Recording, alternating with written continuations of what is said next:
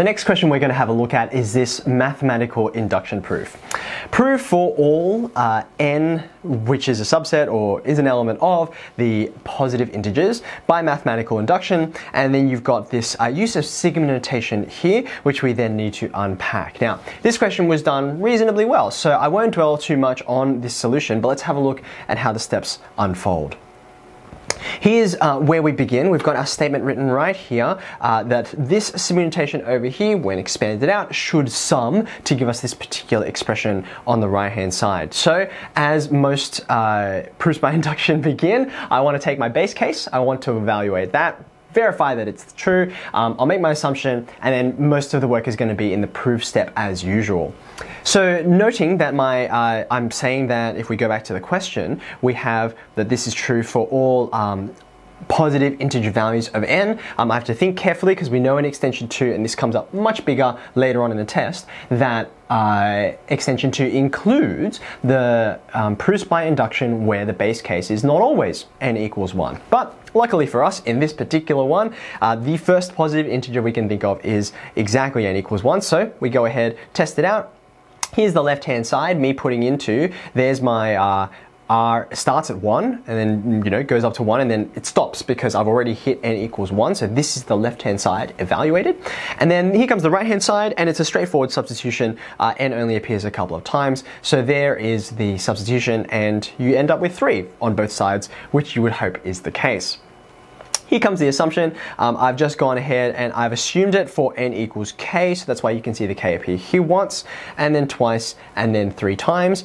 And now we then have to say, well, if we want to use that assumption, what are we trying to prove? And we're trying to prove the k plus 1 step here. So you can see there is the first substitution, the second, uh, and then over here you just have to be mindful of the fact that really this is going to be 2k plus 2 minus 1. That 2k plus 2 comes from the 2 multiplied by k plus 1, uh, and then that minus 1 there gives us 2k plus 1 as a whole. Of course, you could have put an extra step in there if you wanted.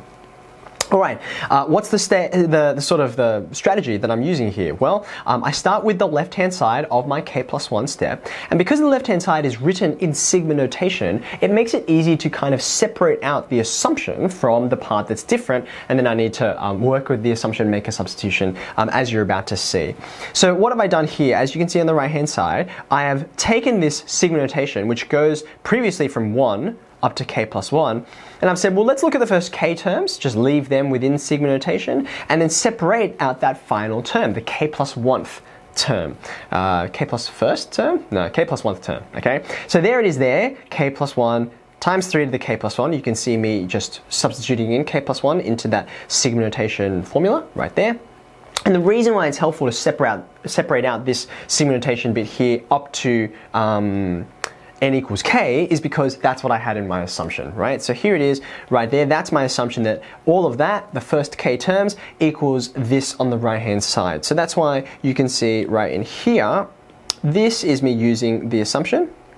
So there's the substitution which replaces my sigma notation here. So this is handy because now I have a whole bunch of like terms which if I can expand this out, um, they're going to all uh, arrive and, and sort of cancel together or interact. So let's have a look you can see at this point here, all I'm trying to do is expand these brackets on the inside. And while I'm at it, um, I can see I've got 3 to the k terms coming up here and here, um, but I've got a 3 to the k plus 1 term over here on the right hand side. So what have I done? I've taken the 3 to the 1 that's been multiplied through on this original term, and I've multiplied it through by the, the terms in the brackets. So that's why the k plus 1 turns into a 3k plus 3.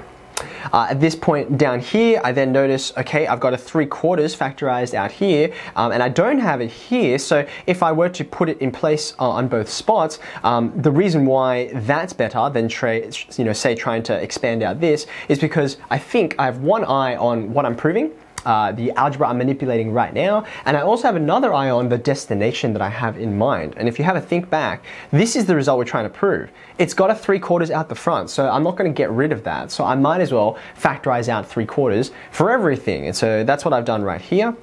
3k, 3k plus 3 is, of course, 3 quarters of 4k plus 4. So that's me getting the uh, 3 quarters in position here and here. Once I've got it in both spots, I then factorize it out here. So that's where this comes from, from this term and this one. And uh, what ensues is just me writing out each of the terms inside the brackets that have been factorized out. So here comes the 1, 3 to the k, 2k, uh, minus 3 to the k. And then uh, you have to be careful here because even though I've factorized out the 3 quarters, you still have this 3 to the k hanging out on the end. So that's why I get 3 to the k, 4k, and the 3 to the k, I've got 4 of them here. Okay. Now you can see by my underlining, I've got the zigzags and then I've also got the double lines. Uh, I'm trying to collect like terms at this point. So here are my um, terms which involved the 3 to the k's and also k's. So they're going to go together. And then here are my three decays with a constant term. So in this case, I've got negative one of them, and here I've got four of them. So you can see that it combines in, let's see if I can um, highlight this helpfully. Here are my um, three decay terms by themselves and they turn into this. I've got 2k plus 4k equals 6k. Uh, and then in a similar way, you can see how uh, these two terms combine here. It's 4 take away 1, which gives me 3. All right, now this is really great, but I do notice that if I again go back to what I'm trying to prove, what I'm trying to prove here, it's got it doesn't have 3 to the k terms. It's got 3 to the k plus 1 terms. So in other words, I've got to take 3 to the k and I've got to multiply it by 3 and index laws will take care of the rest. So that's why you can see um, for each of these two terms, for this one it's very easy, there's just already a 3 there so it goes up into the index. For this one, um, I pull the 3 out and that leaves a 2k behind. So now I've also got this up in the index. Uh, and at this point, it is just a straightforward factorization to say I've got 2k of them here, I've got one of them there, and here is the required result. So, um, you know, if I were nice and neat, I would say um, it's true by the principle of mathematical induction. And as mentioned, uh, this was probably one of the best done mathematical induction questions uh, because it was relatively straightforward if you were able to correctly interpret the sigma notation, which most people had no trouble with. Okay, full stop. Let's go back to the paper and have a look at the next question on the next page. 5c says, uh, prove that, and we're back in complex numbers land, prove that the modulus of z1, z2, the product uh, or rather the modulus of a product, equals uh, modulus Z1, modulus Z2. Prove that the modulus of a product equals the product of the moduli for any complex number. So we're going to do that, um, and then we're going to prove another result which we'll use in a graph, apparently in part three. So let's have a look at the solutions one at a time. Here is um, the what was I saying? The modulus of the product that we were looking at before. So I have been told, if I come back to the question, I shouldn't get rid of it so quickly. Um, it says prove that this is true, and it then says kind of do it however you like. Uh, it doesn't specify any particular process, unlike part two, which says use the rectangular form of a or the you know the Cartesian form of a complex number. So when I'm multiplying numbers together, the most concise way to do that is using exponential form. So you can see me specifying. Well, let's call z1 this and z2 that, when you multiply them together, it's straightforward index laws to then say, okay, I'm just going to have my e to the i alpha, my e to the i beta, they become e to the i alpha plus beta, um, and then my uh, moduli out the front here, which I defined as R1 and R2, um, they're just going to combine there. Now what's great about this line is, if you read it carefully, you can see it's asking for something very straightforward. What is the distance from the origin of this particular complex number? Well, the distance from the origin doesn't have anything to do. It's independent of the argument of that complex number. It only has to do with this numerical coefficient out the front. So the modulus of this particular complex number is just that coefficient R1, R2. So I've got that. And I noticed that R1 is the modulus of Z1 by definition, and the same thing for R2 and Z2. So that's uh, the modulus of Z1 and the modulus of Z2 done as required. Now, as I pointed out in part two, um, it is specified that you have to use rectangular form. And really, that's just to make things a bit easier for you um, because you could have done this in exponential form, but it will make the transition to part three ever so slightly trickier. if I say z equals x plus iy, that implies in rectangular form that the conjugate of z is equal to x minus iy. I'm just flipping around the sign on the imaginary term. Now the reason why I bother to write this is because you can see here this result depends on uh, using z and then comparing it to its conjugate and of course I have to square as well, right? And then hopefully where I end up with is 4ixy. So let's see how that unfolds. You can see here, here's my z minus z bar, and because I have defined uh, z and z bar in this way, um, all you get left with is, like because the uh, when you're subtracting, the two real parts were identical, so they cancel each other out. So that's great, I just get left with the imaginary bits, 2iy, and the opposite is true when I'm adding the uh, complex conjugates. When I've got z plus z bar, you can see the iy and the minus iy, they just cancel, and that's what leaves me with 2x. So then you multiply through and you get 4ixy as needed. So then we come to part three, and I hope as you looked at the question, you saw um, how you were going to need to use parts one and two. Um, part two is easy, uh, or more obvious rather, I should say, to use. You can see over here on the uh, left-hand side of what we're asked to graph here, there's that same z squared minus z bar squared um, that we used in part two, or rather that we proved a result for in part two. So um, this is clearly implying that if I, if I take this and substitute it for what's on the right hand side, for ixy, that's going to make this easier, which indeed it does. So let's have a look at how this pans out. Here is me substituting in for ixy, and I got that from part 2. Um, it's equal to 16. I noticed that that 4, because it's a positive coefficient, I can just divide everything through by 4, which is what gives me the next line.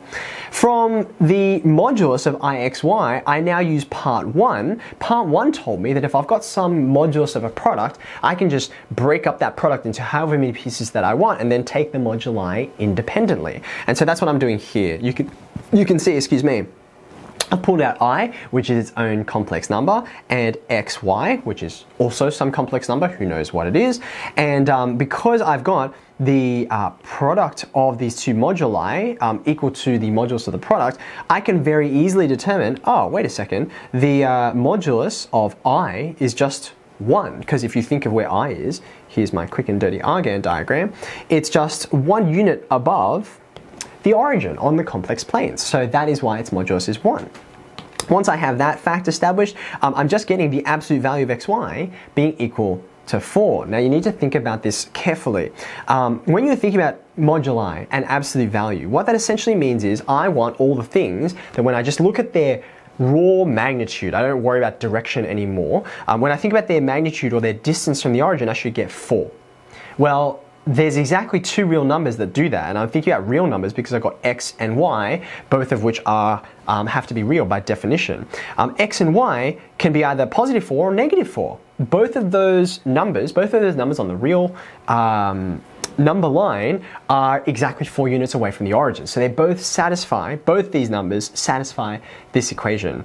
Once you've got the plus or minus 4 there, it's just a matter of dividing through by x, and we get a familiar hyperbola that we know how to graph, except there's two of them, right? You can see here, let's highlight it. Uh, this would be the 4 over x part, we're pretty used to that hyperbola, so I'll just um, label it as such, 4 over x. And then secondly, you also have this reflected one. This here is a separate hyperbola. It's y equals negative 4 over x. You can see I've just turned it upside down. And it was a very common error for students to um, miss the fact that there were more branches than you would normally get for a hyperbola. So just before I leave off this question, it is worth pointing out that um, missing the uh, absolute value and the fact that you get both the plus and the minus. That was one major factor. Um, also, not putting in your asymptotes, that was just kind of sloppy. So it was very disappointing to see asymptotic behavior, but no asymptotes actually, you know, drawn in and labeled on the graph. And then lastly, as a very, very small point, um, but it is, I think, if, you know, I'm trying to show you a perfect uh, a specimen solution is what we call it. Um, this graph here um, and all of its branches here, here, here, and here, it could just as easily have been plus or minus 1 over x, or plus or minus 5 over x, or plus or minus 500 over x. They all look like this. The only difference is the scale. So that's why I've put a point for scale, or some people like to call it a locking point. Um, now that I have placed this on this first branch, um, only y equals 4 over x can satisfy that. This can't be y equals uh, 5 over x anymore because um, the point 2 plus 2i wouldn't be on there. Uh, and that's how you do this graph. Not complicated to draw, but you had to think about how to use all of your earlier parts, which was a consistent issue throughout this exam. Um, there were lots of multi-part questions and better responses, stronger responses, always kept in mind their previous results and also uh, quoted them, made them really clear, right? You can see here, um, I state very explicitly, there's part two, that's where I use it when I said, oh, I'm substituting from here to here. Here's part one, when I said I broke apart this modulus of a product into the product of the moduli. Tell me where that's coming from. That's a really good practice to clearly communicate your mathematical working.